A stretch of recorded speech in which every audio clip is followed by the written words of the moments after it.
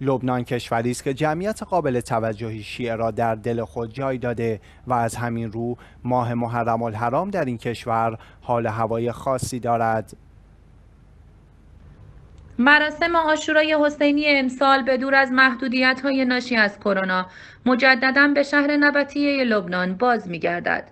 به گزارش اخبار شیعه به نقل از رسانه های محلی شهر نبطیه در جنوب لبنان طبق معمول عصر روز سی ژوئیه این ماه به دور از هر گونه محدودیت های همهگیری کرونا مجددا و به منظور بزرگداشت مراسم آشورا آماده خواهد شد.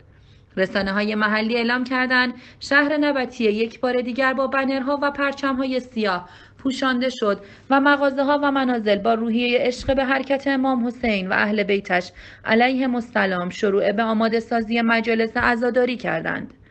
همچنین رسانه ها اعلام کردند قرار است مراسم دهه آشورای امسال در نبطیه لبنان در حالی اجرا شود که توسط نیروهای امنیتی و نظامی تدابیر امنیتی برای اجرای آن فراهم شده است و این نیروها از اول تا دهم محرم مراسم سوگواری امام حسین علیه السلام را همراهی خواهند کرد. رسانه ها خاطر نشان کردند برای بزرگداشت این مراسم دردناک و مقدس که از معنویت بالایی برخوردار است هماهنگی خوبی بین برگزار کنندگان مراسم و نیروهای امنیتی در شهرستان به وجود آمده است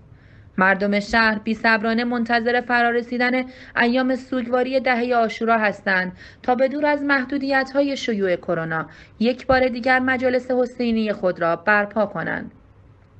مردم امسال با سر دادن شعار پناه ما حسین تاکید کردند که در دقدقه ها و مشکلات روزمره خود به امام سرور و سالار شهیدان علیه السلام روی می آورند و از سیره و صبر و اخلاق آن حضرت درس می گیرند تا بدین وسیله بتوانند بر سختی ها و مشکلاتی که بر همه ملت لبنان تحمیل شده است فائق آیند.